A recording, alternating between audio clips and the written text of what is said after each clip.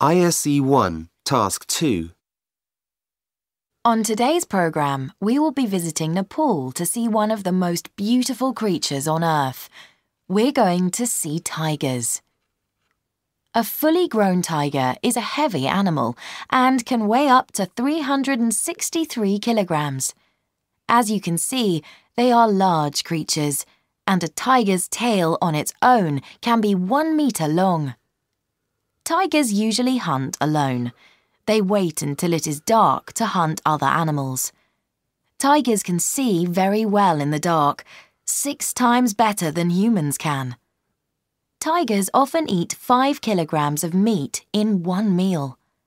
When they have eaten enough, they cover the rest of the meat with leaves and dirt and come back to it later. Unlike most other members of the cat family, tigers enjoy water and are good swimmers. You can identify an individual tiger by its stripes, as each tiger has a different pattern of stripes.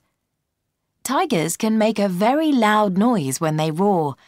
You can hear a tiger as far as three kilometres away.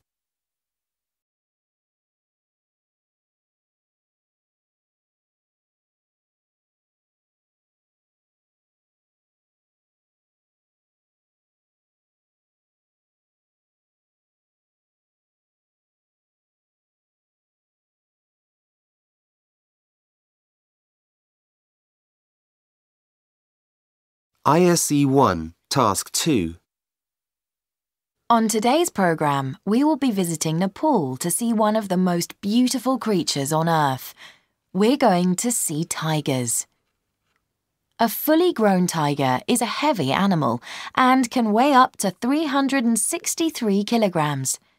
As you can see, they are large creatures, and a tiger's tail on its own can be one metre long. Tigers usually hunt alone. They wait until it is dark to hunt other animals. Tigers can see very well in the dark, six times better than humans can. Tigers often eat five kilograms of meat in one meal. When they have eaten enough, they cover the rest of the meat with leaves and dirt and come back to it later. Unlike most other members of the cat family, tigers enjoy water and are good swimmers. You can identify an individual tiger by its stripes, as each tiger has a different pattern of stripes. Tigers can make a very loud noise when they roar. You can hear a tiger as far as three kilometres away.